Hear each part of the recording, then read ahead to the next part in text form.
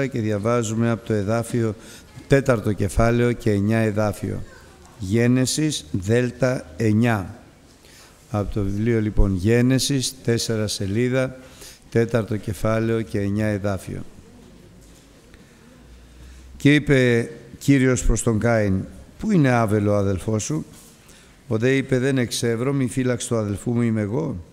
Και είπε ο Θεός τι έκαμες, η φωνή του αίματος του αδελφού σου βοά προς εμέ εκ της γης. Και τώρα επικατάρατος να είσαι από της γης ή της άνοιξε το στόμα αυτής δια να δεχθεί το αίμα του αδελφού σου εκ της χειρός σου. Όταν εργάζεσαι την γη δεν θέλεις το εξής σι δώσει τον καρπόν αυτής. Πλανήτης και φυγάς θέλεις είστε επί της γης. Και είπε ο Κάιν προς τον Κύριον η αμαρτία μου είναι μεγαλύτερα παρά ώστε να συγχωρεθεί. Ιδούμε διώκει σήμερα από προσώπου της γης και από προσώπου σου θέλω κρυφθεί και θέλω είστε πλανήτης και φυγάς επί της γης και πάσος με έβρι θέλει με φωνεύσει. Είπε δε προς αυτόν ο Κύριος, δια τούτο πασός της φωνεύσει τον Κάιν, επταπλασίως θέλει τιμωρηθεί. Και έβαλεν ο Κύριος σημείων εις τον Κάιν, για να μην φωνεύσει αυτόν πάσος της έβρι αυτόν και εξήλθον ο Κάιν από προσώπου του Κυρίου και κατόκισεν εν τη γη Νόδ προς Ανατολάς της Εδέμ. Εγνώρισε δε ο Κάιν τη γυναίκα αυτού και συνέλαβε και γέννησε τον Ενόχ. Έκτιζε δε, έκτιζε δε πόλην και κάλεσε το όνομα της πόλεως κατά το όνομα του Ιού, του Ιού αυτού Ενόχ.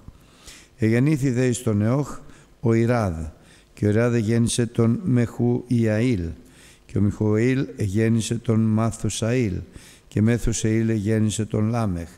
Και έλαβε σε αυτόν ο Λάμεχ δύο γυναίκας, το όνομα της μίας Αδά και το όνομα της άλλης Σιλά. Και γέννησε ο Αδά ή Αδά τον Ιαβάλ, ούτως είναι πατήρ των κατοικούντων εν σκηνές και τρεφόντων κτίνη. Και το όνομα του αδελφού, του αδελφού αυτού ήτο Ιουβάλ. Ούτως ήτο πατήρ πάντων των παιζόντων κιθάραν και αυλόν η Σιλά δε και αυτή εγέννησε τον Τουβάλ Κάιν, χαλκέα παντός εργαλείου χαλκού και σιδήρου. Αδελφή δε του Θουβάλ Κάιν ήτο Νααμά. Και είπε ο Λάμεχ προς τας γυναίκας αυτού, «Αλλά, Αδά και Σιλά, ακούσατε τη φωνή μου γυναίκες του Λάμεχ, ακροαστείτε τους λόγους μου. Επειδή άνδρα εφόνευσα εις πληγήν μου και νέον εις μάστιγάν μου διότι ο μεν Κάιν επταπλασίως θέλει εκδικηθεί, ο δε Λάμεχ εβδομηκοντάκις επτά. Εγνώρισε δε πάλι ο Αδάμ τη γυναίκα αυτού και γέννησε υιόν και κάλεσε το όνομα αυτού Σηθ, λέγουσα ότι έδωκεν σε με άλλο σπέρματι του Άβελ, τον οποίον εφώνευσε ο Κάιν. Και στον Σιθ ομοίως εγέννηθη Υιός και κάλεσε το όνομα αυτού Ενός. Τότε έγινε αρχή να ονομάζονται με το όνομα του Κυρίου. Τούτο είναι το βιβλίο της γενολογίας του ανθρώπου. Καθήν ημέραν επίησε ο Θεός τον Αδάμ, κατ' εικόνα επίησε Αυτόν, άρσεν και θύλοι επίησεν αυτούς και ευλόγησεν αυτούς και κάλεσε το όνομα αυτού Αδάμ, καθήν ημέραν επίησεν αυτούς. Έζησε δε ο Αδάμ 130 έτη και γέννησε νιόν κατά την ομοίωση αυτού, κατά την εικόνα αυτού και κάλεσε το όνομα αυτού Σιθ. Και έγιναν οι μέρες του Αδάμ αφού γέννησε το Σίθ 800 έτη και γέννησε Ιούς και Θυγατάρας πάσα, και έγιναν πάσα ημέρα του Αδάμ, τας οποίας έζησε 930 έτη και απέθανε. Αμήν. Μέσα από τη γέννηση λοιπόν ο Θεός μας αποκαλύπτει πάρα πολλά πράγματα ιδιαίτερα και τις αρχές των πραγμάτων. Δηλαδή πώς ξεκίνησε ο άνθρωπος, πώς ξεκίνησε η αμαρτία, πώς ξεκίνησε από την παράβαση η απομάκρυση του ανθρώπου από το Θεό, πώς ο Θεός είχε δώσει στον άνθρωπο τη δυνατότητα να ζει αιώνια με το δέντρο της ζωής, αλλά όταν έφαγε από το δέντρο της γνώσεως του καλού και του κακού, τότε η θέση του Θεού ήταν ότι ο άνθρωπος πρέπει τώρα πλέον εξάπαντος να πεθάνει, το φυσικό άνθρωπο, το φυσικό θάνατο, ε, γιατί εάν ζούσε αιώνια θα ήταν φοβερό μέσα στην αμαρτία να ζει ο άνθρωπος αιώνια. Και τέλος μας έδειξε και την πρώτη φοβερή παράβαση του φόνου που αποδεικνύει, που αποδεικνύει τέλος πάντων που μας δείχνει ο Θεός ότι ο άνθρωπος είναι θνητός, πεθαίνει και μπορεί να πεθάνει και βία, μπορεί να πεθάνει, το φυσικό θάνατο εννοώ, μπορεί να πεθάνει και φυσιολογικά. Δηλαδή η ζωή του ανθρώπου είναι στα χέρια του Θεού, αλλά είναι και στα χέρια του ίδιου του ανθρώπου. Δηλαδή μπορεί να αυτοκτονήσει ο άνθρωπος, έχει την ελευθερία, τη δυνατότητα. Μπορεί να σκοτώσει κάποιον άλλον ή μπορεί να ζήσει και όλα τα χρόνια όσα ο Θεός έχει επιτρέψει. Ο πρώτος φόνος ήταν ένα φοβερό χαρακτηριστικό γιατί προήλθε και ήταν αποτέλεσμα της θυσίας ανθρώπων, της θυσίας προς το Θεό, της προσφοράς προς το Θεό. Δεν ήταν αποτέλεσμα διαμάχης, δεν ήταν αποτέλεσμα τσακωμού, αλλά ήταν αποτέλεσμα προσφοράς προς τον Θεό, θυσίας, όπου θα έλεγε κανείς ότι η αιτία, εδώ θέλω να είμαστε λίγο προσεκτικοί όμως, η αιτία του φόνου ήταν ο Θεός, ο οποίος επέβλεψε με ευμένεια στην προσφορά του Άβελ, αλλά δεν επέβλεψε καθόλου καλά στην προσφορά του Κάιν με αποτέλεσμα να προκαλέσει το φθόνο, τη ζήλια και εν τέλει το μίσος στην καρδιά του Κάιν. Αυτή είναι μια λογική τελείως ανόητη ε, που όμως μπορεί να τη βρει κανείς στις καρδιές των ανθρώπων. Να ρίχνουμε την ευθύνη στο Θεό για κάτι που έκανε. Ο Θεός όμως, αδερφοί αγαπητοί, δεν μπορεί να αλλάξει τη συμπεριφορά Του και να ξεφύγει από τη δικαιοσύνη Του. Όταν λέμε ότι είναι δίκαιος, πραγματικά είναι δίκαιος. Άδικος είναι ο άνθρωπος. Πολλές φορές λοιπόν μέσα στις καρδιές των ανθρώπων μαζεύεται η γνώμη δίδοντας αδικία στο Θεό επειδή δεν μπορούμε να κατανοήσουμε ο άνθρωπος δεν μπορεί να κατανοήσει και τη σοφία και τη δικαιοσύνη του Θεού. Ο Κάιν δεν μπόρεσε να κατανοήσει αλλά δεν μπορούσε να κατανοήσει γιατί η καρδιά του ήταν ήδη χαλασμένη. Τα έργα του ήταν ήδη πονηρά. Και όταν και υπερήφανος, ιδιαίτερα υπερήφανος, ήταν ο Κάιν σαν πρωτότοκος. το πρώτο παιδί του Αδάμ και της Εύας. Πολύ σοβαρό και πολύ ιδιαίτερο. Θα δούμε παρακάτω όταν γέννησε εις αντικατάσταση του Άβελ ο Αδάμ και η Εύα το Σιθ από εκεί και πέρα, ενώ όλοι έκαναν πολλούς ιούς και θυγατέρες, η γενολογία αναφέρεται πάντοτε στο πρωτότοκο.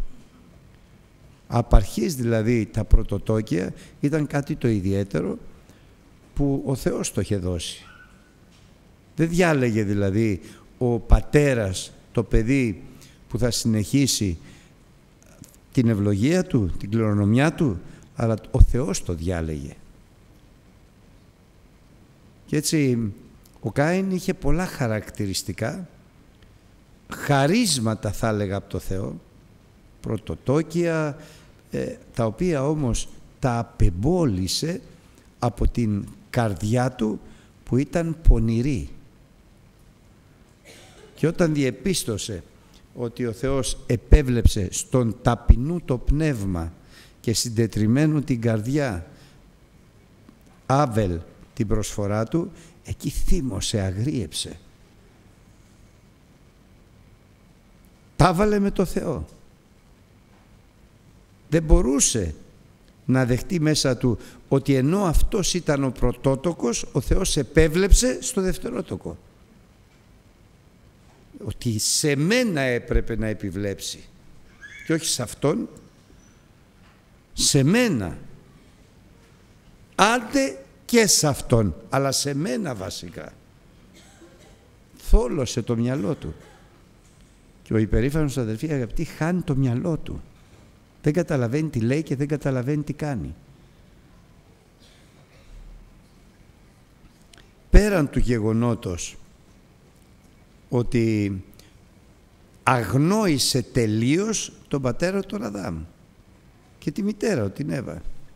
Τους αγνόησε παντελώς. Βλέπουμε ότι δεν, δεν ασχολείται καθόλου με αυτούς. Και έτσι βρέθηκε στην δυσμενέστατη αυτή θέση τον Γκάι να τον αναφέρει ο Λόγος του Θεού σαν το χειρότερο παράδειγμα μέσα στη Γραφή. Ένα άλλο τέτοιο αντίστοιχο παράδειγμα ήταν και ο Ισάφ πρωτότοκος που περιφρόνησε εντελώς τα δώρα του Θεού, την εύνοια του Θεού. Κατεφρόνησε τα πρωτοτόκια και τα χασε όλα. Είναι το ωραιότερο μάθημα, αδελφοί, που μπορούμε να έχουμε στη ζωή μας. Να εκτιμάμε αυτά που ο Θεός μας έχει δώσει. Ό,τι μας έχει δώσει ο Θεός να το εκτιμάμε και να ευχαριστούμε το Θεό. Να εκτιμάμε το Θεό πρώτα-πρώτα για την οικογένειά μας, για τον πατέρα μας, για τη, να ξάζουμε το Θεό πρώτα-πρώτα για την οικογένειά μας, για τον πατέρα μας, για τη μητέρα μας. Αν δεν υπήρχαν αυτοί δεν θα είμαστε. Για τα αδέλφια μας και για ό,τι άλλο ο Θεός έχει κάνει και μας έχει χαρίσει. Για την υγεία μας, για τα δυο μας μάτια που δεν έχουμε ένα για τα δυο μας πόδια που δεν γεννηθήκαμε και δεν έχουμε ένα. Για όλα αδερφοί να δοξάζουμε το Θεό. Ο άνθρωπος ο ευγνώμων που εκφράζει την εκβονομοσύνη του στο Θεό είναι ιδιαίτερα ευάρεστος στον Θεό. Θυμηθείτε τους δέκα λεπρούς. Και οι δέκα πήγανε να ζητήσουν θεραπεία από τον Κύριο και οι δέκα την έλαβαν και οι δέκα την έλαβαν. Αλλά ευγνωμοσύνη έδειξε μόνο ένας. Γύρισε, δόξασε, ευχαρίστησε και αυτός μόνο ένας έλαβε σωτηρία. Ένα από τα μεγάλα μυστικά που συνεχώς επαναλαμβάνω σε όλους τους γύρω μου, όπου και αν βρεθώ, είναι αυτό που λέει ο Λόγος του Θεού. Τίμα τον πατέρα σου και τη μητέρα σου. Και δεν το λέω γιατί είμαι πατέρας. Το λέω γιατί το γράφει γραφή. Τίμα τον πατέρας σου και τη μητέρα σου για να σου γίνεται καλό. Είναι μυστικό ευλογίας. Σου γίνεται καλό. Και είσαι και μακροχρόνιος. Που είναι κάτι που είναι ιδιαίτερη ευλογία για τον άνθρωπο.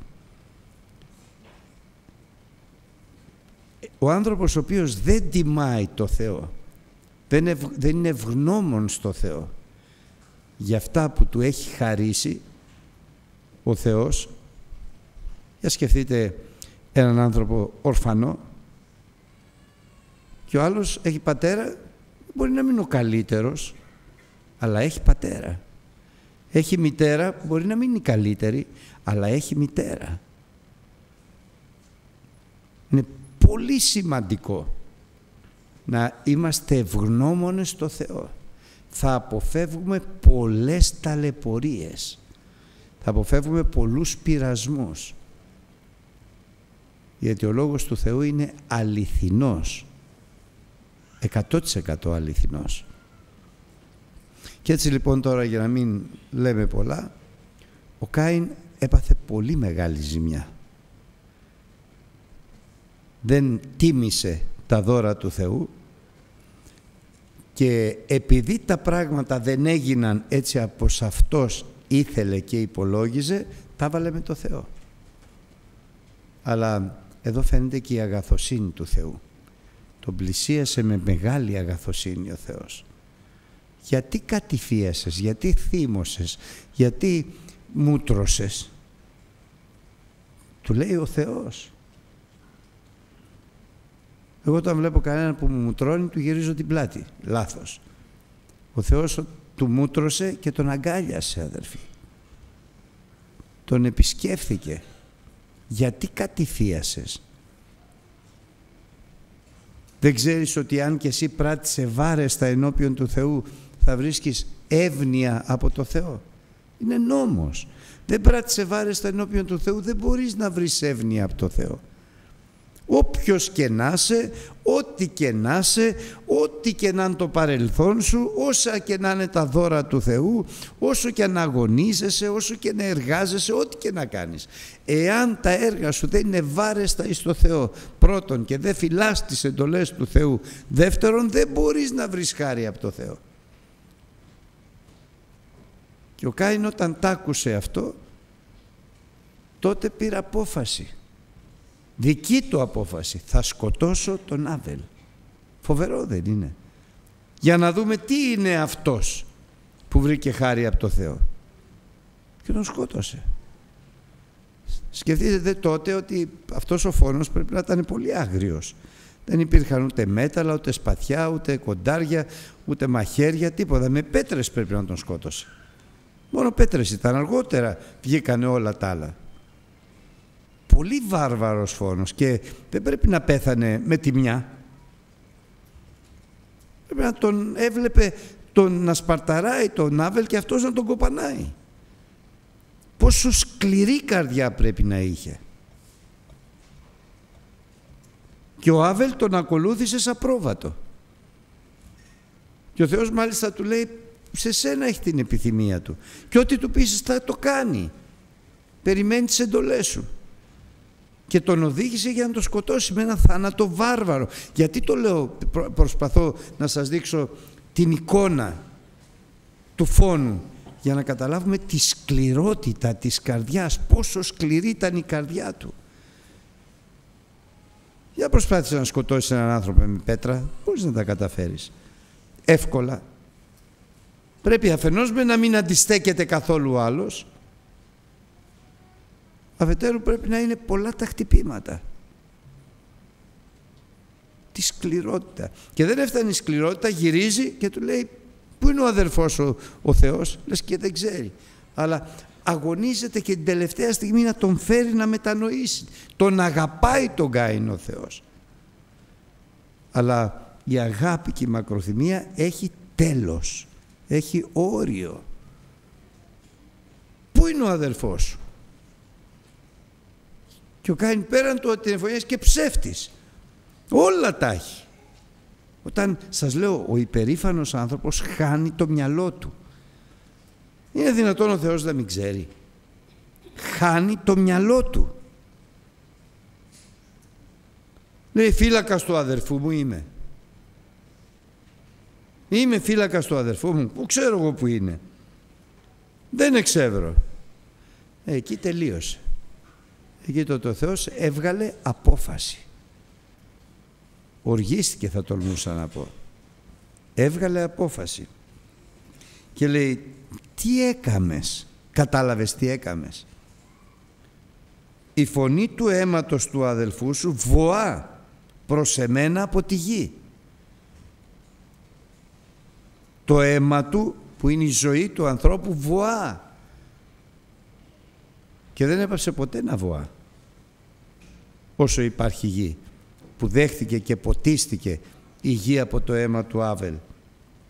Και τώρα επικατάρατος να είσαι όχι από μένα πόσο σοβαρό είναι αυτό από τη γη να είσαι επικατάρατος η οποία άνοιξε το στόμα αυτής και δέχτηκε το αίμα του αδελφού σου εκ της δικής σου χειρός. Δηλαδή δεν καταργέται ο Θεός. Ούτε και τον Γκάιν δεν καταράστηκε από τη γη να είσαι καταραμένος. Δηλαδή, ό,τι εργασία και να κάνεις στη γη να μην έχει αποτέλεσμα. Ό,τι και να πράττεις να, μην, να σπέρνεις και να μην θερίζεις. Να φυτεύεις και να μην μαζεύεις. Και όχι μόνο αυτό, πλανήτης και φυγάς θα είσαι στη γη. Δεν μπορείς να βρεις ησυχία, ειρήνη. Θα γυρίζεις γύρω-γύρω. Πότε εδώ, πότε εκεί και πουθενά δεν θα ησυχάσεις. Και μπροστά σε αυτή την καταδίκη θα έλεγα που ο Θεός εξήγηλε προς τον Κάιν ο Κάιν πάλι έδειξε μια καρδιά που είναι μακριά από το Θεό. Δεν έχει καταλάβει τίποτα από το Θεό. Δεν έχει καταλάβει τίποτα από το Θεό και για το Θεό η αμαρτία μου είναι μεγαλύτερα από, από όσο να συγχωρεθεί από το Θεό. Δεν συγχωριέται η αμαρτία μου. Είναι μεγάλη πράγματι. Αλλά καμιά αμαρτία εκτός από μία δεν συγχωρείται, δεν είναι, που δεν μπορεί να συγχωρεί, να συγχώρητος από το Θεό. Μόνο η βλασφημία του, του Πνεύματος του Αγίου μας λέει ο Λόγος του Θεού. Και αυτή ακόμη συγχωρείται. Και λέγει, «Ιδού με διώκεις σήμερον», πάλι δεν τα λέει σωστά.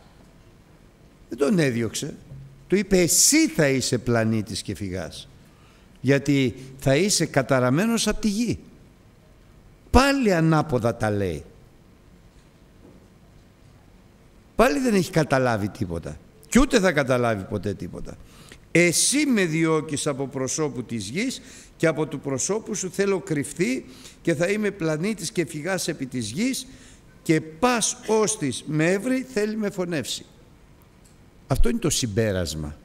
Με αδικείς, με καταδικάζεις. Ο Θεός όμως δεν τον καταδίκασε ούτε τον αδίκησε και θα φανεί και κάτι πολύ σοβαρό στη συνέχεια. Και είπε προς αυτόν ο Κύριος Δια τούτο όποιος φωνεύσει τον Κάιν επταπλασίως θέλει τιμωρηθεί και εδώ φαίνεται αδελφοί καθαρά από την πρώτη μεγάλη αμαρτία ότι δεν επιτρέπει ο Θεός τη θανατική καταδίκη την καταδίκη, την ποινή του θανάτου σε οποιαδήποτε αμαρτία και να κάνει ο άνθρωπος. Δηλαδή δεν έχει το δικαίωμα ο άνθρωπος να αφαιρέσει ζωή ανθρώπου ποτέ και σε καμία περίπτωση. Ποτέ και σε καμία περίπτωση. Και για να διαφυλάξει τη ζωή του, εγώ λέω, μήπως και μετανοήσει, δεν το βλέπουμε στη γραφή όμως, για να διαφυλάξει τη ζωή του έβαλε ο Κάιν, ο Θεός, ο Κύριος, σημείο εις τον Κάιν για να μην φωνεύσει αυτόν κανένας γιατί εφταπλασίως θα τιμωρηθεί. Δηλαδή σε καμία περίπτωση ο Θεός δεν δέχεται κάποιον να θανατώσει τον εαυτό του ή κάποιον άλλον άνθρωπο. Σε καμία περίπτωση. Η δικαιοσύνη των ανθρώπων, η οποία είναι σαν ρηπαροημάτιο, επέβαλε τη θανατική ποινή, που τα τελευταία χρόνια έχει περιοριστεί πάρα πολύ. Μόνο μερικά κράτη την διατηρούν ακόμη.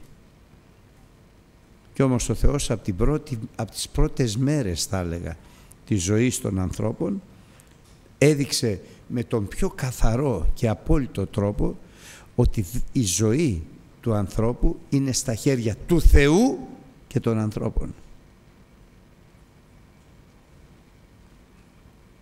Και έτσι δημιουργήθηκαν τα έθνη, δηλαδή ο κόσμος της αμαρτίας.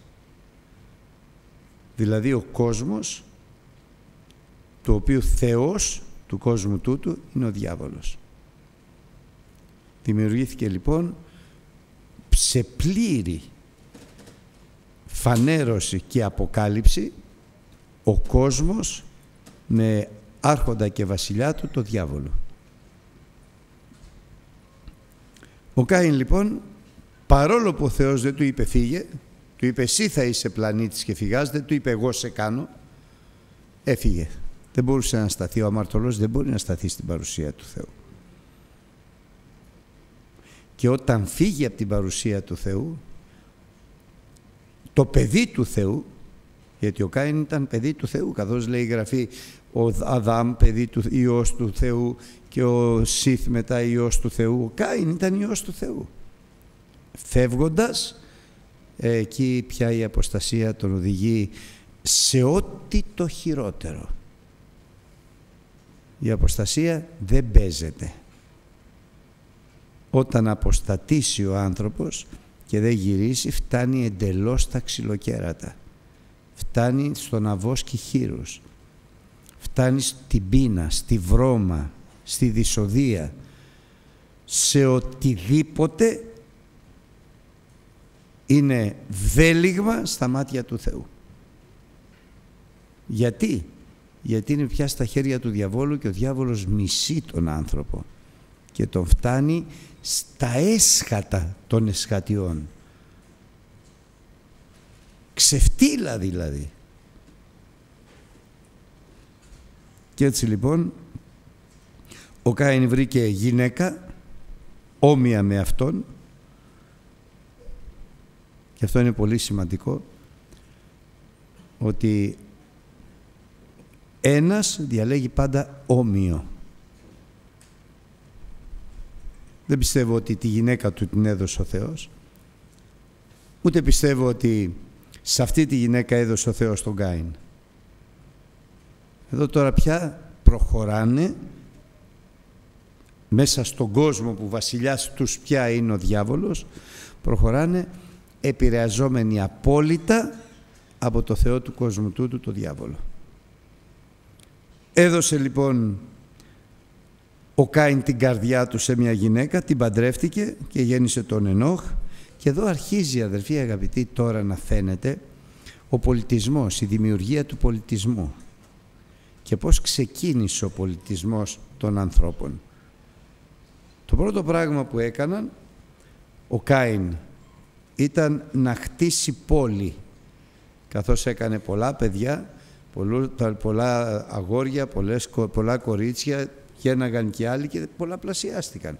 Το πρώτο πράγμα λοιπόν που έκανε, που κάνει ο άνθρωπος που έκανε και κάνει ο άνθρωπος είναι να δημιουργήσει μία τρόποντινά συγκατοίκηση. Να μένουμε κοντά. Και από τότε έτσι κάνει ο άνθρωπος. Όλο πόλεις φτιάχνει. Πόλεις, πόλεις, πόλεις, παντού πόλεις να είναι κοντά ο ένας με τον άλλον το πρώτο λοιπόν πράγμα που, ήταν, που έκανε ο άνθρωπος ο αποστατημένος στην ανάπτυξη του πολιτισμού του ήταν δημιούργησε πόλη και μάλιστα έδωσε και όνομα στην πόλη και μάλιστα έδωσε το όνομα του πρωτοτόκου Ιού του, του Ενόχ. Και αρχίζει τώρα ο πολλαπλασιασμός και πάλι ο Θεός φανερώνει την τιμή που κάνει στους πρωτότοκους. Και γεννήθη στον Ενόχο Ιράδ, ο Ιράδ γέννησε τον Μέχου, Αϊ, Μεχού Ιαήλ, ο Μεχουιαήλ εγέννησε τον Μεθουσαήλ και ο Μεθουσαήλ εγέννησε τον Λάμεχ. Δηλαδή Κάιν, Λάμεχ, Ιράγ, Ιράδ, Μεχουαήλ, Μεθουσαήλ και Λάμεχ. Εφτά. Εφτά γενιές θα τολμούσα να πω. Που από εδώ και πέρα πια η αμαρτία μπαίνει έντονα μέσα στη ζωή του ανθρώπου. Μέσα σε εφτά γενιές. Ο Λάμεχ πήρε δύο γυναίκες. Δεν έχει φτιάξει ο Θεός τον άνθρωπο, τον άντρα να έχει, μια, να έχει δυο γυναίκες ή τρεις ή πολλές. Μία γυναίκα. Έφτιαξε τον Αδάμ για την Εύα. Ο Λάμεχ πήρε δύο. Γιατί, γιατί η γυναίκα ήταν πάντοτε υπό την εξουσία του άντρα. Δεν βλέπουμε μία γυναίκα να παίρνει δύο άντρες ή τρεις άντρες. Πολυγαμία όταν λέμε είναι ένας άντρας πολλές γυναίκες. Γιατί το ισχυρό πρόσωπο είναι ο άντρας. Είναι αυτός ο οποίος εξουσιάζει. Η, εξουσία, η επιθυμία της γυναίκας είναι στο πρόσωπο του αντρός και η εξουσία του άντρα είναι επί της γυναίκας. Η γυναίκα τότε ήταν και ιδίω στον κόσμο, στους εθνικούς, δηλαδή στο, σε αυτό το, την ομάδα των ανθρώπων που ήταν μακριά από το Θεό. Μηδέν. Χρησιμοποιώ για δεύτερη φορά τη λέξη που δεν μου αρέσει καθόλου. Ξεφτύλα η γυναίκα. Τίποτα. Πράγμα την έλεγαν κάποτε οι Λατίνοι. Καμία χάρη δεν έβρισκε ποτέ η γυναίκα. Και παντρεύτηκε δύο γυναίκες, τη Σιλά και την Αδά και γέννησε παιδιά και αμέσως αρχίζει το δεύτερο που είναι το επάγγελμα. πολιτισμός δημιουργεί επάγγελμα. Και ο Ιαβάλ, αυτός ήταν ο πατήρ των κατοικούντων εν σκηνές, έφυγε από την πόλη, κατοικούσε εν σκηνές, γιατί έτρεφε κτίνη. Το πρώτο επάγγελμα λοιπόν που έκανε ο άνθρωπος ήταν κτηνοτρόφι. Σε ομαδικό επίπεδο, γιατί πρέπει να ξεχνάμε ότι ο Κάιν ήταν α, γεωργός και ο Άβελ ήταν κτηνοτρόφος. Αλλά τώρα το πρώτο ομαδικό επάγγελμα ήταν αυτοί που κατοικούσαν σε σκηνές και έτρεφαν κτίνη γιατί πήγαιναν στα βουνά κάτω ανάλογα με τον καιρό. Και το όνομα του αδελφού αυτού ήταν το Ιουβάλ, ούτως ή το πατήρ πάντων των πεζότων κιθάρα και αυλών. Το επόμενο ήταν να δημιουργήσουν τέχνη και μουσική. Κιθάρα και αυλό. Διασκέδαση. Η διασκέδαση ήταν το είναι το χαρακτηριστικό όχι μόνο των ανθρώπων του κόσμου τούτου αλλά και το χαρακτηριστικό του, χερουβ, του χερούβ του επισκιάζοντος. Αυτό ήταν το χωρισμά του. Τα τύμπανά του και η δοξολογία του προς το Θεό. Αλλά εδώ τώρα δεν είναι δοξολογία προς το Θεό, είναι διασκέδαση για ασωτεία και εκχύληση της αμαρτίας. Όπως ήταν τότε είναι και τώρα. Αυτός είναι ο άνθρωπος του κόσμου αδερφοί. Ο άνθρωπος του κόσμου δεν κάνει τίποτα άλλο παρά να χορεύει και μάλιστα μέσα στην εκχύληση της αμαρτίας κάτω από του μπερλέκια που είναι και το χαρακτηριστικό του διαβόλου.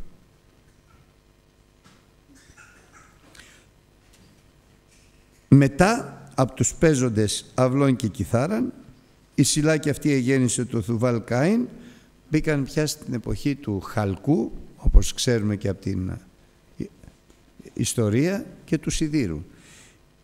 Ο πρώτος Χαλκέας ήταν ο Θουβάλ Κάιν παντός εργαλείου. Τώρα βγαίνουν πια τα εργαλεία. Τα εργαλεία για πρώτη φορά βγαίνουν καθώς περνάει ο χρόνος και αυξάνεται ο πολιτισμός. Εκείνο που, έχει, που είναι άξιον περιεργίας και ενδιαφέροντος είναι ότι πρώτα ανακάλυψαν τον τρόπο να διασκεδάζουν στην αμαρτία τους οι άνθρωποι με αυλό και κιθάρα και ύστερα ανακάλυψαν τα εργαλεία του χαλκού και του σιδήρου. Όλα αυτά διέρχησαν περίπου 1600 χρόνια, αν τα μετρήσουμε, από το 4.000 π.Χ. που θεωρητικά μέσα από τη Γραφή δημιουργήθηκε ο, από το Θεό ο Αδάμ, μέχρι το 2400 που καταστράφηκε αυτός ο πρώτος κόσμος από τον κατακλυσμό την εποχή του Νόε. Και στη συνέχεια έγινε και άλλος φόνος. Και όχι μόνο αυτό, αλλά ο Λάμεχ, ο οποίος έκανε και το φόνο, ήταν ο άνθρωπος ο οποίος έγραψε το πρώτο τραγούδι που περιγράφει τη βία και το φόνο. Και αν το δείτε το τραγούδι αυτό μοιάζει με το σημερινό ραπ. Όσοι ξέρετε, γιατί εγώ τελευταία το άκουσα. Είναι με το σημερινό, με τη σημερινή μόδα του ραπ. Λέει, «Κύπο Λάμεχ προς τα γυναίκας αυτού». Τραγούδι είναι αυτό αν το δείτε στο αρχαίο κείμενο. Αδά και Σιλά ακούσατε, τραγούδι μάλιστα βίας και θανάτου. Αδά και Σιλά ακούσατε την φωνή μου, γυναίκες του Λάμεχ, ακροάστε τους λόγους μου και απευθύνετε στις γυναίκες του. Τραγουδιστά τα κατορθώματά του. Δηλαδή το θεωρεί και συγχώρεσε με Κύριε, και μαγιά και ικανότητα. Επειδή άνδρα εφώνευσα, και μάλιστα αν δείτε το αρχαίο μας οριτικό κείμενο, το «εις μου» λέει «αυτόν που με πλήγωσε», δηλαδή ήρθε σε διαπληκτισμό. Και νέον εφώνευσα επειδή με χτύπησε εις μάστιγά μου. Δηλαδή ήταν ένας φόνος ενός νέου ανθρώπου από το Λάμεχ τσακωμού. Θα μπορούσε να ήταν αυτοάμυνας, θα μπορούσε να ήταν επιθετικότητα του Λάμεχ, ήταν επίθεσης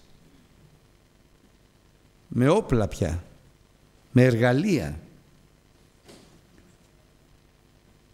Επειδή λοιπόν εφώνευσα αυτόν που με πλήγωσε και σκότωσα αυτόν που με χτύπησε, γι' αυτό Και όποιος με χτυπήσει δεν θα τιμωρηθεί εφταπλασίως, αλλά 70 και σε 7 φορές, γιατί ήμουνα σε άμυνα. Αρχίζει λοιπόν και μπαίνει η δικαιοσύνη η ανθρώπινη. Αυτό όπως ο νόμος που υπάρχει και σήμερα. Ο Κάιν εκουσίως πήγε προγραμματισμένα και σκότωσε. Έχει ποινή. Στην Ελλάδα έχει σόβια. Ο άλλος όμως που σκότωσε σε τσακωμό απάνω έχει λιγότερη ποινή. Ακριβώς αυτά που ισχύουν σήμερα ισχύουν και εδώ. Εφταπλασίως όποιος σκοτώσει τον ε, Κάιν θα τιμωρηθεί 70 φορές το 7 όποιος σκοτώσει το Λάμεχ που σκότωσε α, θα έλεγα σε άμυνα πιθανόν σε τσακωμό το σίγουρο. Άρα είναι όχι τόσο αξιόπινη η ποινή του. Έχει ποινή όλοι όχι αξιόπινη. Και συνεχίζεται ο κόσμος της αμαρτίας. Ασταμάτητα. Μέχρι να φτάσουμε στην εποχή του Νόε που ο Θεός θα καταστρέψει τελείως εκείνο τον κόσμο τον κόσμο που ο ίδιος σε δημιούργησε αλλά ως επιτοπλίστων ήταν κόσμος και απόγονοι του Κάιν. Και μάλιστα πότε, όταν, γιατί τώρα θα δούμε παρακάτω τη δημιουργία του λαού του Θεού, όταν άρχισαν οι άνθρωποι να πληθύνονται και οι θυγατέρες εγεννήθησαν από αυτούς δόντες οι του Θεού τα στιγατέρα των ανθρώπων ότι ήσαν ωραίε έλαβον σε αυτούς γυναίκας όχι όμοιες με αυτόν αλλά η εκλογή έγινε με τη σάρκα. Όμως πριν φτάσουμε εκεί η Γραφή μας λέει ότι γνώρισε πάλι ο Αδάμ τη γυναίκα αυτού και γέννησε νιόν και κάλεσε ο Αδάμ. Ο Αδάμ παρέμενε. Θα τολμούσα να πω στην πίστη στο Θεό και γέννησε το Σιθ. Λέγουσα ότι ο Θεός έδωκε εις με άλλο σπέρμα αντί του Άβελ το οποίο εφώνευσε ο Κάιν. Δηλαδή ο Κάιν απομακρύνθηκε όχι μόνο από το Θεό αλλά και από τον πατέρα του και από τη γενεά του, του Αδάμ και της Εύας. Έκανε δικό του δρόμο. Αποστάτησε τελείως από το Θεό. Δεν ξέρουμε αν ξαναείδε ποτέ και τον Αδάμ. Και βέβαια καμία σχέση με το Σιθ. Ο, ο απόλυτος χωρισμός που προέρχεται από την αμαρτία την παράβαση και την ανομία. Πόλης αμαρτίας, λαός αμαρτίας, βδέλιγμα στο Θεό, καταδίκη αλλά και πολιτισμός. Και ανάπτυξης. Γιατί ο άνθρωπος έχει την ικανότητα από το Θεό, γιατί είναι φτιαγμένος κατά την εικόνα του και την ομοίωσή του, να αναπτύσσεται, να αυξάνεται, να προοδεύει. Ο Αδάμ λοιπόν, ξαναρχίζουμε από την αρχή, γέννησε συνευρέθη με τη γυναίκα του την Εύα και γεννήθηκε ο Σιθ που σημαίνει αντικαταστάτης το όνομα Σιθ εις αντικατάσταση του Άβελ και από εδώ αρχίζει ένας άλλος λαός να ονομάζονται, να προσεύχονται προς τον Θεό με το όνομα Κύριος. Για πρώτη φορά λοιπόν στην Γραφή εμφανίζεται το όνομα Ιαχβέ, Ιεχωβά στην Παλαιά Διαθήκη. Για πρώτη φορά οι του Σιθ αποκαλούν τον Θεό Γιαχβέ, Κύριο. Έχουν γνώση δηλαδή του Θεού, επίγνωση του Θεού και δημιουργείται πια ένας άλλος λαός, ο λαός του Θεού. Και αρχίζει τώρα ξανά από την γενεολογία, την αρχή τη γενεολογία ο Θεός, που ενδιαφέρεται και παρακολουθεί τα παιδιά του Θεού, τα παιδιά του Σιθ, το λαό του Θεού. Πάβει να ασχολείται πλέον με τον Κάιν και είναι φοβερό. πάβει πια να ασχολείται ο Θεός και ο Λόγος Του με τον Κάιν και τα παιδιά του. Γιατί έφυγε από προσώπου του Κυρίου. Αυτή είναι η δημιουργία της κόλασης. Πάει τελείωσε, έφυγε. Καμία σχέση πια ο Κάιν με τον Θεό και με τους γονείς του. Αλλά και καμία σχέση, αυτό είναι το φοβερό. Ο Θεός με τον Κάιν και τα παιδιά του Κάιν. Καμία. Αναφορά, καμία συζήτηση. Τελείωσαν. Νεκροί πνευματικά. Απεχωρίστησαν εντελώς από το Θεό. Τούτο λοιπόν είναι το βιβλίο της γενεαλογίας. Και ποια είναι η γενεαλογία; Για τον Θεό. Καθήν ημέρα ανεποίησε ο Θεός τον Αδάμ, κατ' εικόνα Θεού, προσέξτε το αυτό, κατ' εικόνα, μόνο κατ' εικόνα Θεού επίησε ο Θεός τον Αδάμ και μάλιστα άρσενς και σύλλη, ευλόγησε αυτούς και κάλεσε το όνομα αυτού Αδάμ που σημαίνει γήινος, εκ της γης. Καθήν ημέρα επίησε αυτόν. Και έζησε ο Αδάμ 130 χρόνια και γέννησε ιών κατά την ομοίωση αυτού και κατά την εικόνα αυτού. Όλοι δηλαδή οι άνθρωποι γεννιόνται μετά τον Αδάμ κατά την εικόνα και την ομοίωση του Αδάμ. Ενώ ο Αδάμ δημιουργήθηκε από το Θεό μόνο κατά την εικόνα του Θεού. Ο άνθρωπος θα γίνει, η πρόθεση του Θεού είναι να γίνει ο άνθρωπος κατά την ομοίωση του Θεού. Και εδώ στη γη και βεβαίως με την αναγέννηση και την Αγία Ζωή, αλλά ιδιαίτερος εκείνος στον ουρανό, όπου θα είμεθα, όπως λέει ο Ιωάννης, ο μαθητής του Κυρίου, δεν εξεύρωμεν τι θέλουμε είστε τότε, αλλά είναι εξεύρωμεν θα είμαστε όμοιοι με Αυτόν. Αυτή είναι η πρόθεση του Θεού και κατά την εικόνα και την ομοίωση, αλλά δεν είναι αυτή η αρχή. Η αρχή που δημιούργησε ο Θεός τον Αδάμ είναι μόνο κατά την εικόνα του Θεού. Τα παιδιά δε τα οποία γέννησε ο Αδάμ με την Εύα είναι κατά την εικόνα και την ομοίωση του Αδάμ και της Εύας προφανώς. Το ξαναδιαβάζω. Τρία εδάφιο. Έζησε δε ο Αδάμ 130 χρόνια και γέννησε νιόν κατά την ομοίωση αυτού και κατά την εικόνα αυτού και κάλεσε το όνομα Σιτ που σημαίνει αντικαταστάτης. Και αρχίζει τώρα η εξέλιξη των ιών του Θεού. Ενώ η άλλη είναι η των ανθρώπων. Και γέννησεν Ιούς και θυγατέρας και έγιναν πάσε ημέρε του Αδάμ τας οποίας έζησε 930 έτη και απέθανε.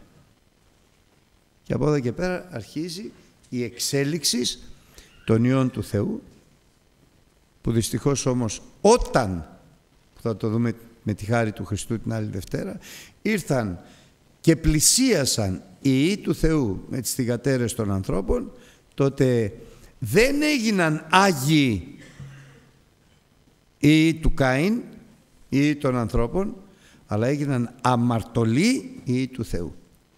Δηλαδή η προσέγγισης του Άγιου σπέρματος με το βρώμικο σπέρμα έχει σαν αποτέλεσμα και τα δύο να γίνουν βρώμικα έχει σαν αποτέλεσμα την αμαρτία.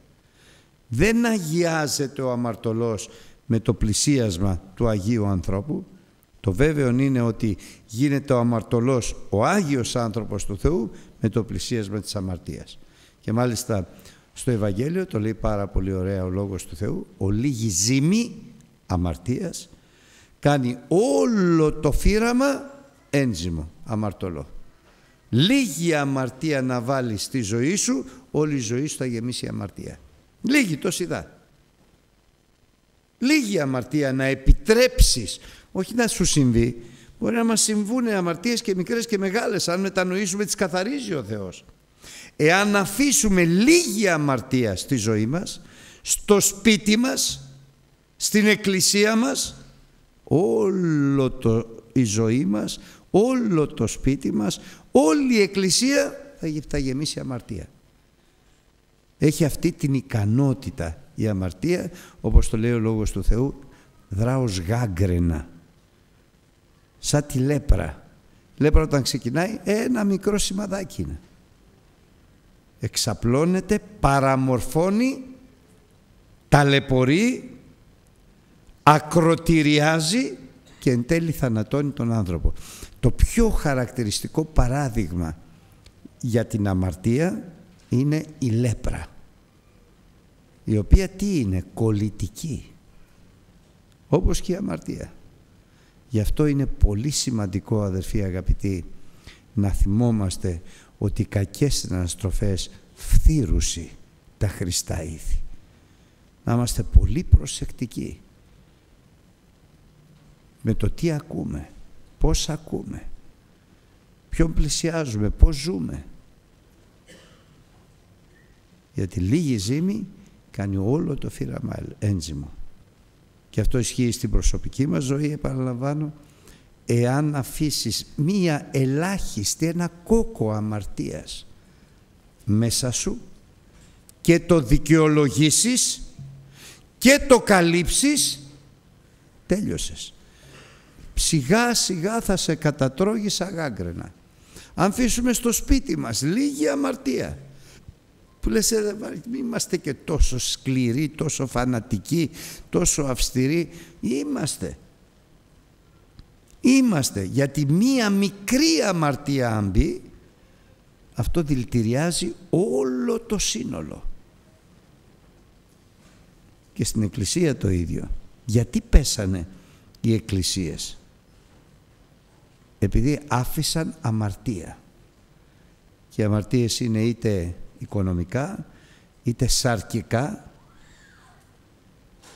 είτε το πιο σοβαρό απ' όλα, το φρόνημα του κόσμου. Ο Θεός να μας φυλάει. Αμήν.